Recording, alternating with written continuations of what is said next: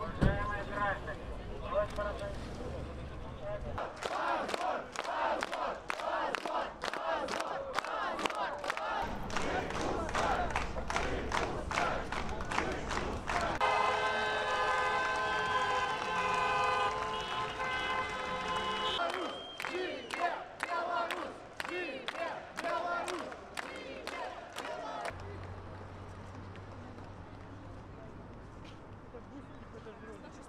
Пришла, потому что я хочу, чтобы в Беларуси были честные выборы, чтобы мы выбрали, мы выбрали наконец-то президента. Мне 24 года, я не знаю другой жизни, кроме как при Александре Лукашенко. Я хочу что-то нового, я хочу, чтобы Беларусь развивалась, чтобы мои дети жили лучше, чем я.